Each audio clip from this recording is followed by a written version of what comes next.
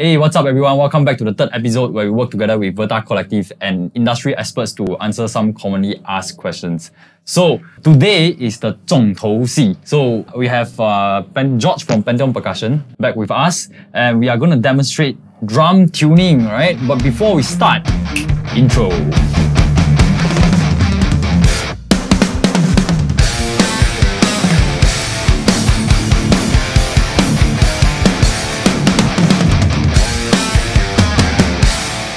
Okay, George, welcome, welcome back. Okay, so today we, you're gonna demonstrate for us uh, how you would normally tune a snare, right? And how you would normally teach on how to tune a snare drum.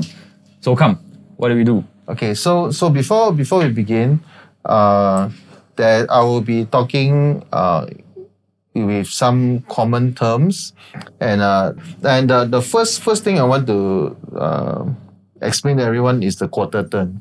So the quarter turn is very simply uh, turning the drum key 90 degrees. So this is my unit of measure for all, all of the, the tuning. Lah. Okay, so, so we begin uh, with a scenario. We begin with a, a brand new skin change, right? We loosen everything, right? So we loosen everything up. Okay, step one is we will finger tight.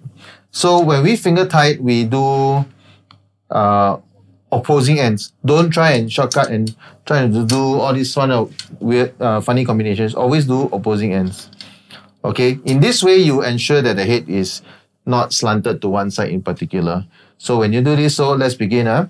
Step one, finger tight, opposing ends.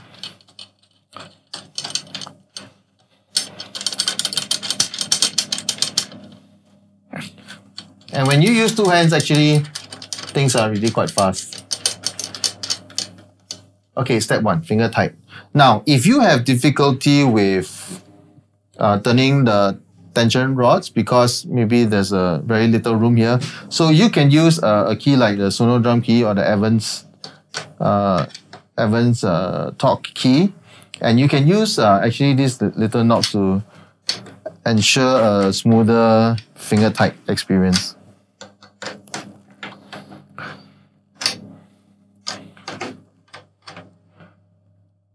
Okay. Now, the next step we want to do, now that we've gotten things kind of pinned down evenly, the next thing we want to do is make sure that uh, the head is centered. So what happens is uh, the drum skin is always a little bit wider than the actual shell of the drum. So, you know, you want to have an equal spacing uh, between the the skin and the shell. So what you do, what I normally do is I just do a kind of like a CPR press in the middle. So what that does is it will tuck it in. It will tuck the shell in to the middle. So it kind of gives a kind of equidistant spacing all around. Okay, so step one, repeat was finger tight. Step two, center the head. Uh, the next step is uh, very simple. So we're going to do uh, our quarter turns. For the snare drum, we do four quarter turns on the top and five quarter turns on the bottom. My formula is x plus one. Okay, where you will apply this this uh, simple formula to uh, tuning across the entire drum kit. You can follow my PDF and and know what's the setting to use. Okay, so this is uh, step three, right? We're going to do the quarter turns. Every time we do a quarter turn, we don't do four turns here at one shot. We do one at a time. What do I mean? So I do quarter turn, skip to the next one, quarter turn.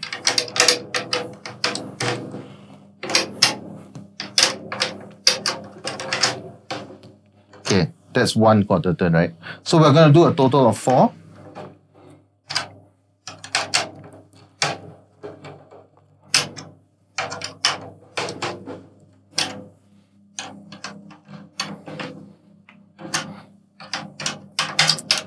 The second one.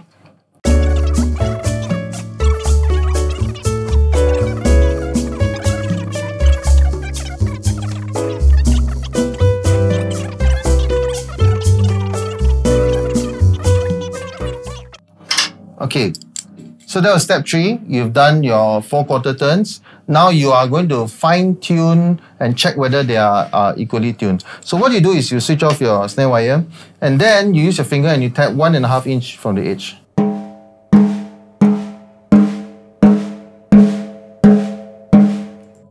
Pretty much correct, right? So uh, without any effort. So you know your your top is done. All right. It just took what? A minute? Two minutes? Yeah. Okay, so now we go to the bottom. Same thing. Assume that we have changed everything up. Switch off the snare wire. Uh, let's reset this thing in. So now we begin uh, with the, the bottom. Now we know that the bottom is, is loose, everything. So again, step one, begin with finger tight. Okay? Go all around. Uh, some people teach, oh, skip a lug and all that, that kind of things. Uh, I, I, I find that most most people get confused. They lose count. Uh, they, uh, so then they end up Because got the star shape pattern and everything. star right? shape pattern and all that. I think I find that generally people get confused. So I, I I don't bother with that now. Okay, step one, finger tight, right? Okay, now for the reso head, are you going to do a CPR kind of press to center it? Please don't make an expensive $19 mistake. Okay, please be gentle on the, the reso head. All right, that was step two, right? Centering the, the skin. And now we're just going to do, remember, X plus 1. So now uh, we're going to do 5 quarter turns on the bottom. Uh, really, there is a limit to how much you can turn. I've, I found that uh, the maximum really is 6 quarter turns. Beyond that, the chance of the skin breaking is extremely high. Okay, so we're going to stick to 4 on top, 5 below. Okay, let's begin.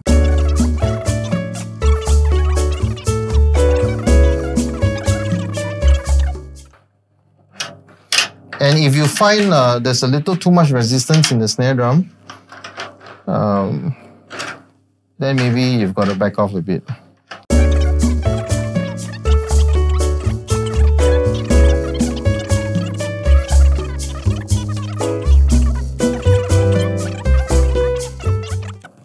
Okay, how do you check the, the bottom? So that was step three, right? You do your five quarter turns. And now you want to check your, your pitch. Remember, use your finger and tap one and a half inch from the edge. Pull your snare wire up. Some people like to put the stick there. I find that it damages the, the snare wire, so I prefer not to do that.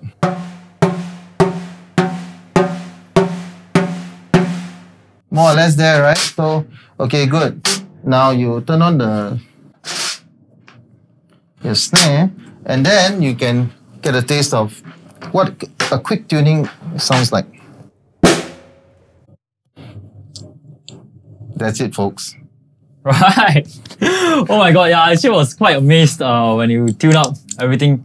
You didn't don't even need to do much fine tuning. Yeah. It's As- just it's as- just right. Correct, correct. So as as long as you are consistent with your 90 degree turns, everything is, is Hmm. the same. You roughly would end up with the same thing. And because you probably encounter more trouble if you did one key at a time. Hmm, You know, but because you did two at a time, it's actually quite fast and it's more consistent. Hmm. So is it possible if uh, let's say for example some students at home they don't have two drum keys, is it still possible for them to apply this Uh, method? you can one? use the same method, but you really need to do opposing ends Right. at any one time. You turn 90 here, you gotta turn 90 here. Yeah. Then you move on to the next one.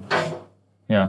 Personally, when I tune the when I tune the snare, right? So I use that. Just now we were talking about the star method. So Hmm. yeah, it's actually really quite confusing. It's co- confusing. Then you're like, wow. Then you. Correct, Where, correct. where, So- where did I last just? Yeah. So what I did was okay. I will always have to hold on to my first one. Ah, yes, first then my first one. This Yeah. is my So first so one. generally, I will always uh, be on the throw off side. Hmm. I will start with the one on the throw off. ah, okay. Then I know I will, So I'm- that's when I come back to it, I, okay, I'm I'm done. And you don't always need to remember, keep track of it because it's consistent, right? Yeah, yeah. You start off with that. So and, Hmm. and the thing about two having two keys is like this is the eight lug drama. I know I'm just going to do this four times. One, Hmm. two, three, four. It's so much easier to keep track. Right, right, right, right, right. You know? So uh, one of the things that uh, I think a lot of people ask is, I think some of them have are having troubles uh, tuning uh, the snare. So does a does a cheap uh, versus an expensive snare uh, in terms of the ease of tuning, uh, does it matter? Uh, I I find that uh, as long as you have new skins, a cheap snare will sound great. Hmm.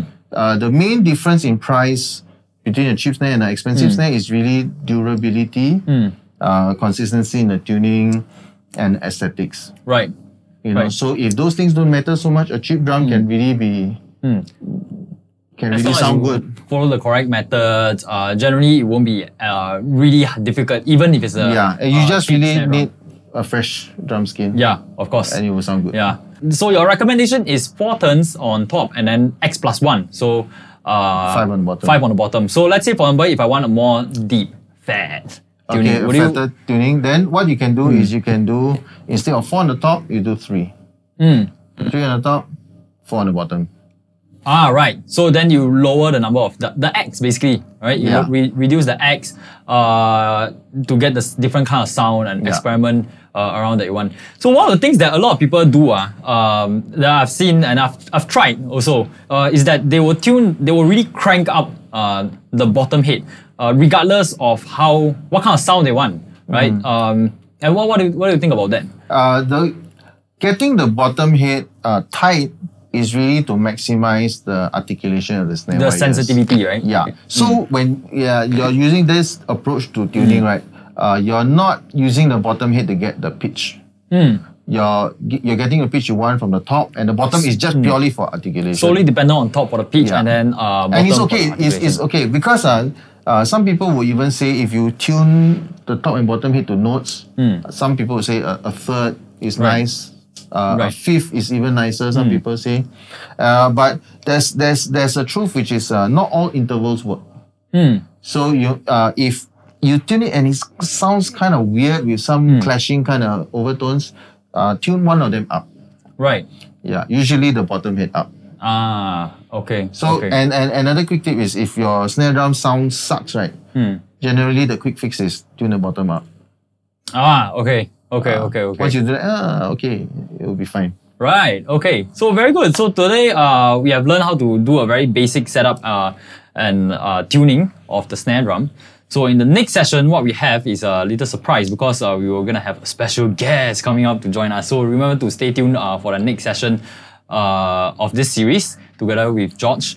Right. Yeah. So remember to like and subscribe and stay tuned for our next uh, episode.